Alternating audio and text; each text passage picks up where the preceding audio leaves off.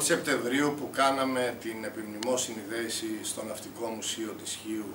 για τους απολυστέντες ναυτικούς μας και την πολύ μεγάλη τους προσφορά, ειδικότερα στο Δεύτερο Παγκόσμιο Πόλεμο και όχι μόνο,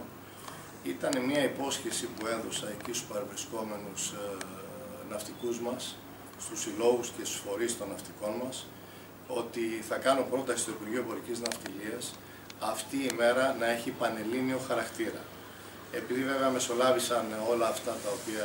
ε, έχουμε και παλεύουμε και αγωνιζόμαστε κάθε μέρα, ειδικότερα με το προσφυγικό, ε, πέρασε κάποιος χρόνος, όμως εγώ δεν ξέχασα την υπόσχεσή μου, γι' αυτό τελικά έκανα αυτή τη συγκεκριμένη πρόταση και θα επιμείνω, γιατί πέραν του εγγράφου κάποια στιγμή θα κάνω και προφορική επαφή με τον Υπουργό, ούτως ώστε να προσπαθήσουμε να καθιερώσουμε αυτή την ημέρα σε πανελλήνια κλίμακα, διότι πιστεύω ότι ε, πεθαίνει κανείς και χάνεται όταν ξεχνιέται.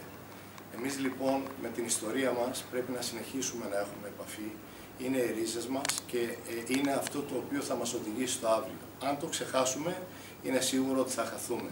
και αυτό δεν πρέπει να το επιτρέψουμε με κανένα τρόπο.